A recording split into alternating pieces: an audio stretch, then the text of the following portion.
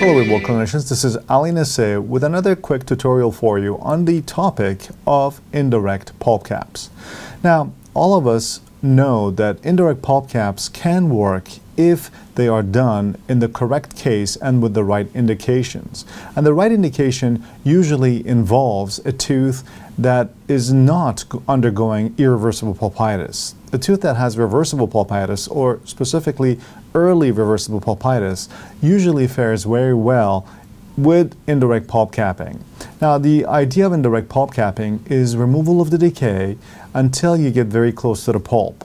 And if you have to leave a tiny bit of decay behind because you would otherwise expose the pulp, in that case, uh, it is okay. What you would end up doing is you would place a medication. In the past, we've used calcium hydroxide medication uh, on these areas where you place a layer of calcium hydroxide and then you place IRM on top of the tooth and then you observe and wash the tooth for a while to see how it fares. These bioceramic uh, products uh, are very well uh, suited for the specific indication of indirect pulp caps. Of course, they're also indicated for, for direct pulp caps. However, in this particular tutorial, I'm going to uh, merely uh, talk about their indirect pulp cap application. Okay folks, let's take a look at the traditional pulp capping procedure and see how the modern materials help us do this process a lot more efficiently and hopefully even more effectively. The, if a tooth has significant decay, however it is testing with reversible pulpitis, there is a chance that we could still preserve the pulp by doing an indirect pulp cap. And what an indirect pulp cap is, it basically involves uh, removal of the decay.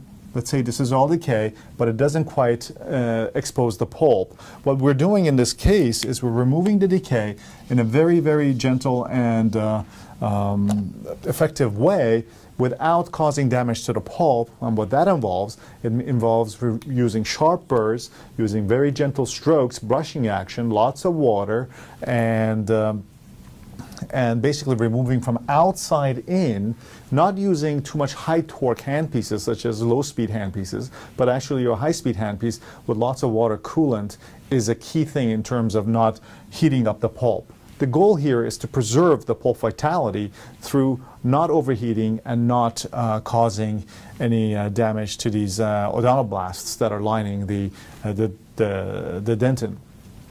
So um, after doing that, and also another big key is having good isolation because if you don't have good isolation uh, and if you're doing a pulp cap, and if you end up having a smear of saliva uh, underneath there, that will certainly not um, give you the highest success rate possible. One of the reasons why a lot of the direct pulp caps fail is because most of the dentists that are pulp capping at that moment do not have a rubber dam on. So a rubber dam is a significant and important thing to have in these cases.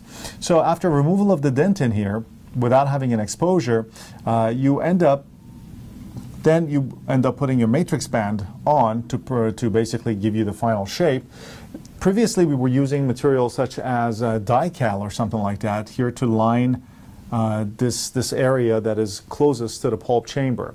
However, we can do a lot better than Dycal. Today's material science using bioceramics allows us to provide the same calcium hydroxide that comes from Dycal without some of the other materials that are in Dycal, which are the resin and all the binders and the fillers and the setting material that are more makes Dycal a lot more cytotoxic than the current bioceramic uh, materials.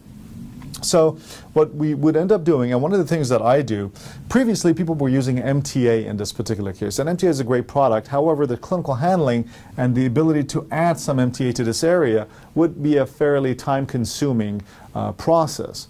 Uh, from a clinical point of view, what I have liked has been the use of the uh, RRM putty material or the RRM syringeable material. This is the EndoSequence RRM uh, bioceramic line, and the putty is very hard, uh, like a Cavit, and you can actually turn that into a little ball and place it uh, the same way as you did with Dycal.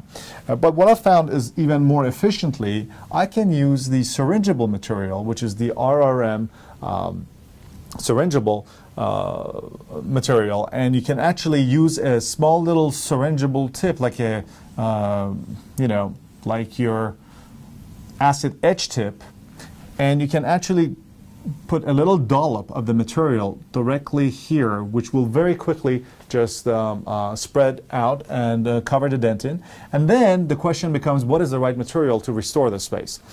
Well, because the bioceramic is fresh, you certainly can use composite. But one of the things that you could do is you could actually fill the whole space up with um, glass ionomer. Glass ionomer and bioceramics have very good relationship and they work well together. So what I found out is I can actually fill up the whole thing with uh, Fuji 9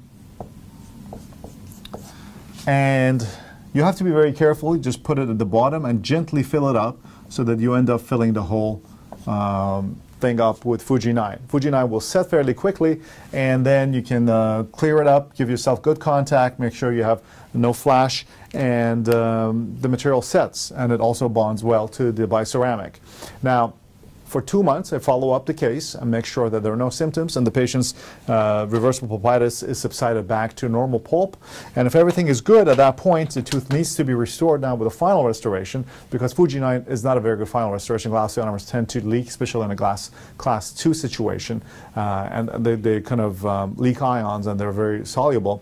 So one of the things that I try to do is I try to send the patient back to the restorative dentist at that point and have them place a composite or an amalgam and they use the Fuji 9 as the base and they prepare an ideal prep right into the Fuji 9 and place uh, a composite which will then just cover the margins and that would be fine and that will give you a very long-term success rate provided that you've done a good job during your access preparation preserving the pulp and the um, vitality of the cells in there.